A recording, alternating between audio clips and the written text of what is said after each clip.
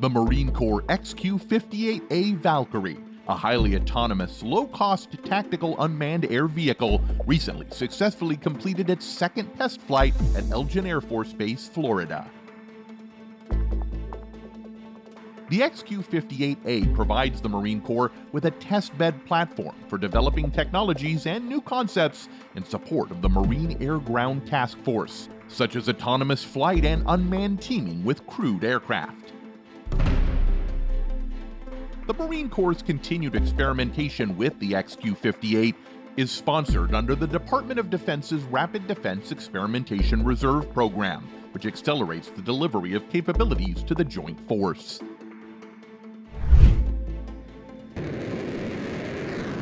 This successful flight is a key milestone in implementing Project Eagle, the service's aviation modernization strategy in support of broader force design modernization efforts. The XQ 58A and other Project Eagle research and experimentation platforms will inform capabilities needed in future conflicts up to 2040. The Kratos XQ-58 Valkyrie is a stealthy unmanned combat aerial vehicle initially designed and built by Kratos and demonstrated to the U.S. Air Force through the low-cost attributable strike demonstrator program under the USAF Research Laboratory's low-cost attributable aircraft technology project portfolio. The low cost attributable aircraft technology portfolio was established to break the escalating cost trajectory of tactically relevant aircraft and provide an affordable, significantly lower cost to weight solution as an unmanned escort or wingmanned aircraft alongside a crewed fighter aircraft in combat.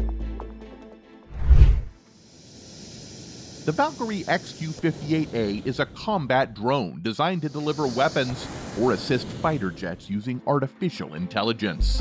The prototype has been in development for years and is able to travel 3,000 miles at an altitude of up to 45,000 feet. Experts now say this unmanned vehicle could play a role in a multi billion dollar U.S. military effort to use AI to expand its assets to keep up with increasingly advanced adversaries like China. Scott Bay, a prototyping and experimentation portfolio manager at the Office of the Undersecretary of Defense for Research and Engineering, has revealed that the U.S. Marine Corps plans a series of six test flights with the Valkyrie. These test flights are envisioned to play a pivotal role in shaping the future requirements and capabilities of autonomous aircraft. During the span of these six planned test flights, the U.S. Marine Corps is set to conduct a thorough assessment of the XQ 58 and artificial intelligence driven aircraft in a broader context. The evaluation will include a diverse array of mission profiles, encompassing intelligence gathering, surveillance, and reconnaissance missions, and providing electronic warfare support to crewed platforms.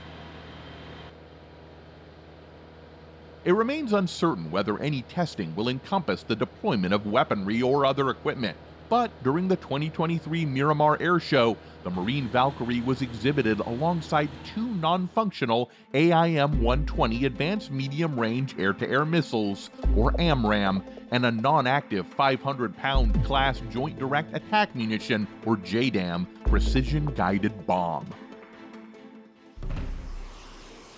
Future test flights of the Marine Corps XQ 58A Valkyrie play an integral role in the Marine Corps efforts to modernize and enhance capabilities in a rapidly evolving security environment. The XQ 58A has a total of six planned test flights, which will evaluate the effectiveness of autonomous electronic support on crewed platforms like the USMC F 35B Lightning II and the potential for AI enabled platforms to augment combat air patrols.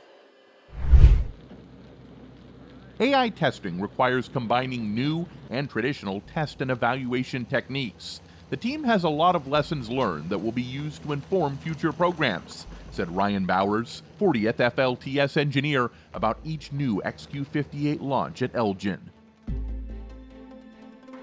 The DoD is committed to the responsible employment of AI Achieving responsible use of AI requires a team of developers and users of AI enabled autonomy working in collaboration with acquisition specialists. AI will be a critical element to future warfighting and the speed at which we're going to have to understand the operational picture and make decisions, said Brigadier General Scott Cain, Air Force Research Lab Commander. AI, autonomous operations, and human machine teaming continue to evolve at an unprecedented rate, and we need the coordinated efforts of our government, academia, and industry partners to keep pace. The XQ 58A is envisioned to provide capability to the Marine Air Ground Task Force that ranges from electronic warfare support to delivering or supporting lethal fires and kill chains. Key contributions to other service level research and development programs, such as the Penetrating Affordable Autonomous Collaborative Killer Portfolio. In addition, the Valkyrie's ability to engage in electronic warfare missions alongside stealthily crewed F 35 Joint Strike Fighters has been a focal point of interest for the Marines. The XQ 58 boasts a fully runway independent design, employing a rocket assisted takeoff method facilitated by a static ground based launcher. To return to the ground, the drone employs a parachute recovery system with inflatable airbags serving to cushion its landing. With its 30 foot overall length and 27 foot wingspan, the XQ 58 has an impressive maximum range of approximately 3,000 miles and a maximum launch weight of 6,500 pounds, which includes an internal payload bay capable of carrying up to 600 pounds and an additional 600 pounds under its wings. It maintains a subsonic cruising speed of Mach 0.72 with a capacity to reach a maximum speed of approximately Mach 0.85. Given its capability for runway independence, rapid deployability, low observable characteristics, and substantial 3,000 mile range, the XQ 58 holds significant relevance for operations in the Pacific Theater. Over the years, the U.S. military started prioritizing swift deployment and the ability to sustain high end operations in forward, sometimes remote locations.